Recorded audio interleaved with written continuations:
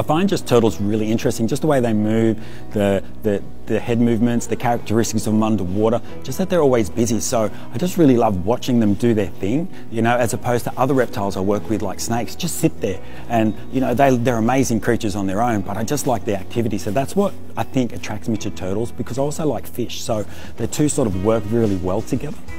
So the Bellinger River turtle is a turtle found on the mid-north coast. Um, it's a special turtle because it's only found in the river systems of the Bellinger River. So that's what makes it so special to us. You know, it's found nowhere else in the world and we're really fortunate to be able to work with this turtle and try and save its future. So a big part of my job is caring for these Bellinger River turtles. The majority of my day is based around them. They're, they're my priority. Um, that's what I'm assigned to do pretty much on every day. So, you know, out of a seven hour day or so, I'm probably with them for five, or so hours, you know. I have lunch and I have morning tea and then I'm pretty much around them. So yeah, I'm, I'm, I'm a turtle person. when we first got the Bellinger turtles, you know, not really knowing what was going on, but to, to breed them the first time, to get eggs, I, I just remember being so excited and how, you know, I couldn't really handle the eggs. I had to give them to someone else to weigh and measure because I was so excited.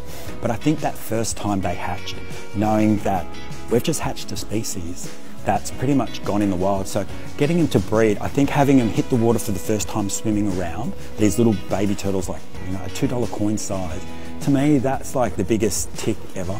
Um, yeah, I think that's probably one of my highlights of, of my zoo career. I just, it's really special.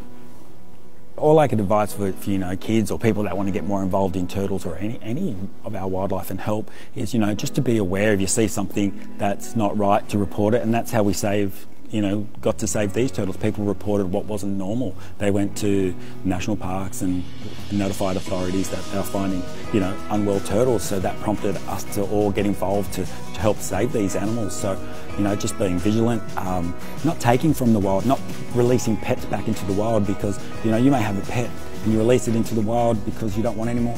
You run the risk of spreading disease. So that's always a big risk.